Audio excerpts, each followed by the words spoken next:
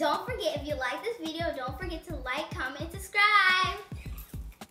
Today I have my beautiful Auntie Sam here. Hello. And my special guest. Hi, my name is McKenzie. And today we're going to be doing an acid-base reaction.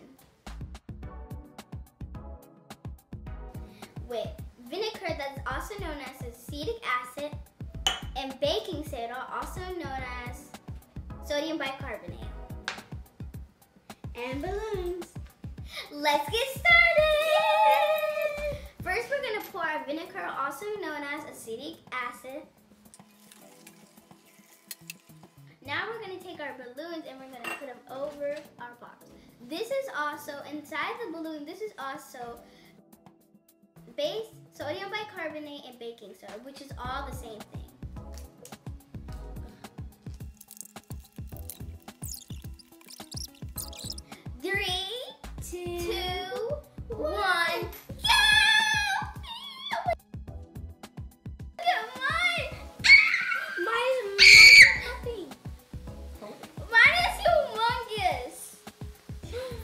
Look, Ava.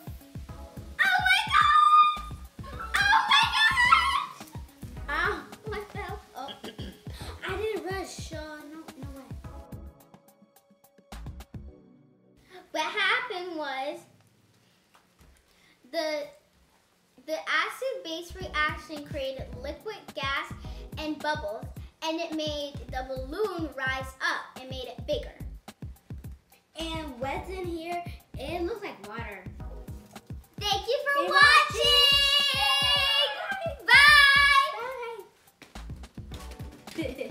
watching. Bye. Bye. Yours is humongous.